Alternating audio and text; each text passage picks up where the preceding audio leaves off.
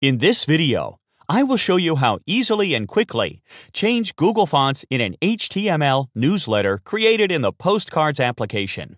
To do this, we'll make a few changes directly in the HTML code. First, open the index.html file and check the font used. It's Open Sans, but I want to change it. I have decided to use Roboto Slab. Now, go to the Google Fonts website and choose the Roboto slab. Next, click Select this font. Then click Family Selected Fonts and see the details of Roboto slab. Let's see what styles we need.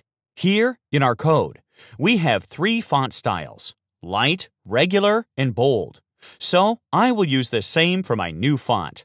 Click the Customize tab and select Light, Regular, and Bold. You can select all of them, but we'll use only three. You will see this in a few seconds. Now, go back to the Embed tab and copy and paste this URL into the browser and open the link. Here we have the list of the styles for Roboto Slab. Back to Code Editor now.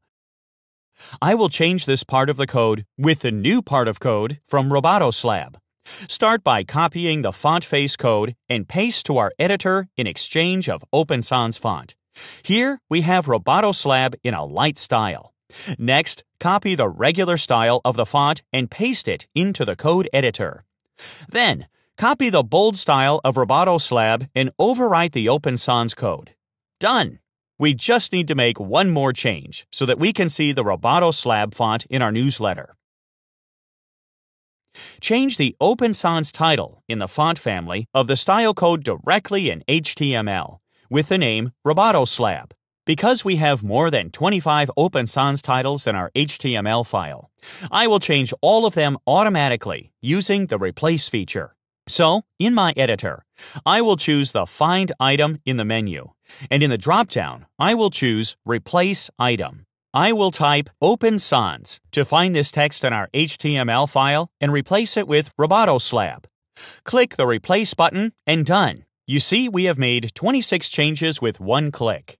Let's see this directly in the code. For example, here you can see Roboto Slab, and here also is the new font. Okay, save the HTML file. Now, open the browser and let's check our changes. Refresh the page, and you can see the Roboto Slab font is live. I like how it looks in my newsletter. Very strong. Let's do an experiment now and revert all our changes. Open the code editor and return the Open Sans font to our newsletter.